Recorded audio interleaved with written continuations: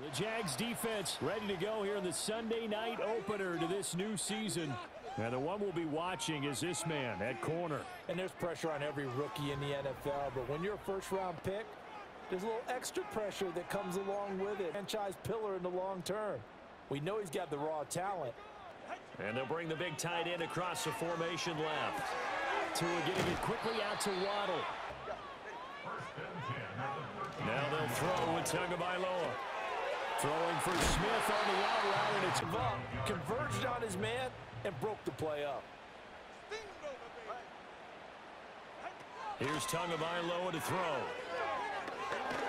And he's going to get this to about the 20, but that is well short of what he needed.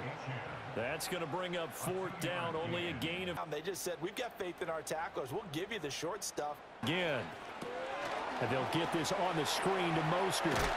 And blocked it. Now Tua. This will be caught. It's Waddle.